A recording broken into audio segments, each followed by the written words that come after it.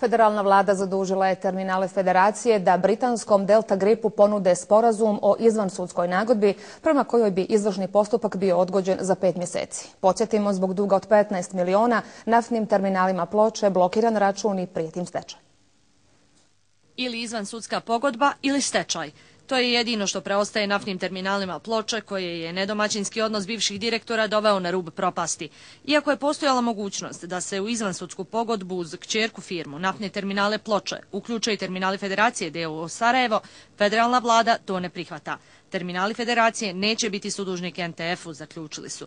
Nakon što su razmotrili informaciju o toku pregovora sa Delta Gripom, zaključeno je da se u roku od pet mjeseci koliko odgodu traže, pronađe način za isplatu sredstava po presudi arbitražnog suda Međunarodne trgovinske komore iz Pariza.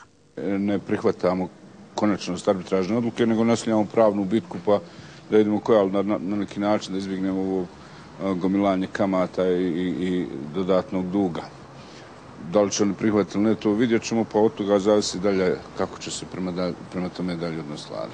Vlada će pružiti potrebnu pomoć i terminalima federacije i naftnim terminalima ploče u poduzimanju pravnih radnji, ali na finansijskom planu ne mogu uraditi mnogo. Vlada federacije obavezala organe naftnih terminala ploča da učine sve da bi zaštitili interese federacije koja je 100% vlasnih terminala.